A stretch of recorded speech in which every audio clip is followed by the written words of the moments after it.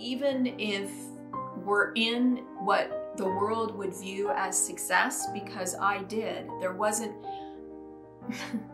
I say I learned to win at the game of life, and I did. I was the straight A student and cut class all the time. I was the, you know, 4.0 student cutting class all the time. I was barely, barely using even a fraction of what God put me on this planet to be, and yet most people would judge that as success. And I think that, um, you know, I I built multi-million dollar homes. I had incomes that were well into seven figures and you know, I had what most would deem as big business success. No matter what company I worked for, I was always number one. I witnessed, um, you know, the competition.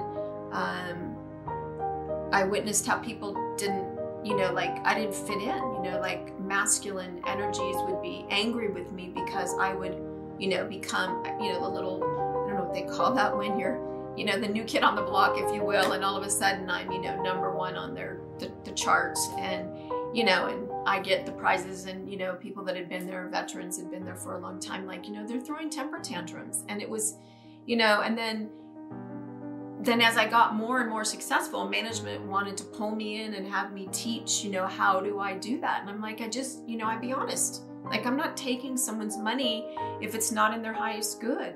And so those were foreign principles, you know, they weren't the, the Dale Carnegie principles and forgive me, that's not, you know, I don't have a reference point because I don't think I ever did any of those courses.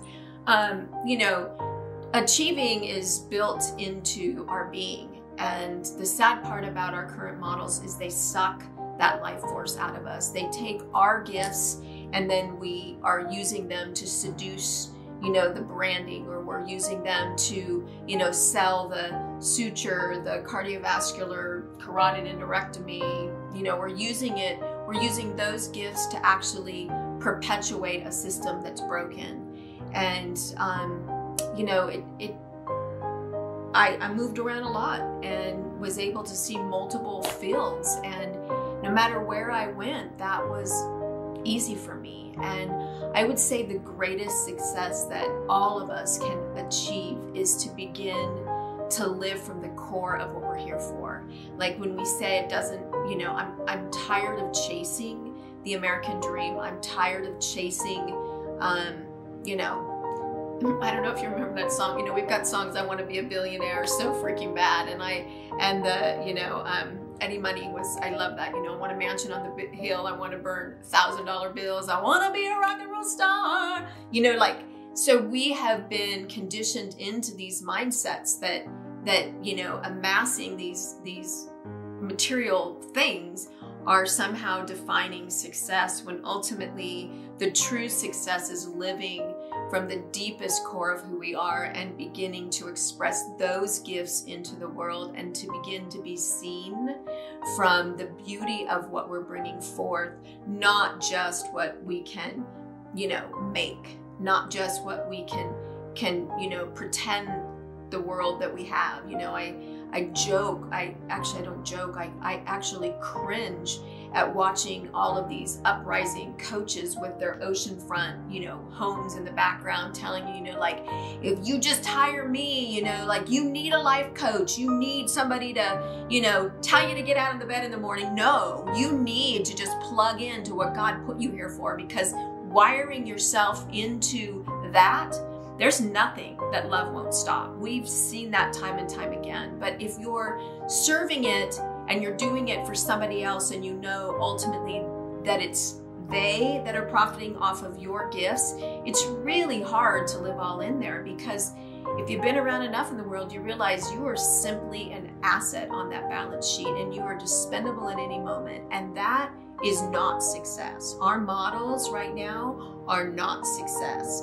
That so to me, defining what we are here for and getting into, stepping into that, that's success. Don't compare me or what I've done in this world to anyone else, to yourself or anyone else. Success could be that you are raising a conscious child and that in the presence of that that child will move forward in the world fully embodied as love that's success and yet we have discarded the actual core teachings of our indigenous on you know what community looks like and how to bear children in the sacredness of of real true community.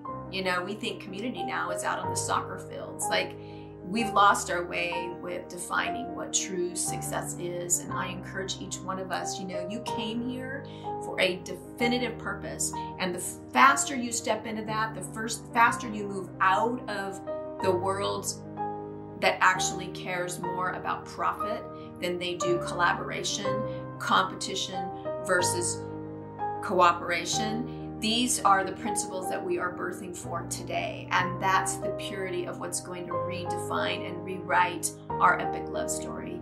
That's the truth of who we are. And when you align your who to your do, watch out, world, because nothing's going to stop you. You get those wings and you recognize you came here to fly.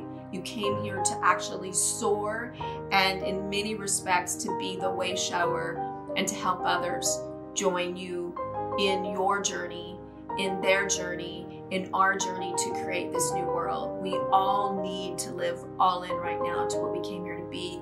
That's going to be the recipe for the purest success on the planet. It's time. It's time to stand in that pure essence of what we're here for and drive it into the beautiful aspects of creation itself. That's making love. That's true success. It's time. I invite you. Be what you are here to be. Skip the do, be the who.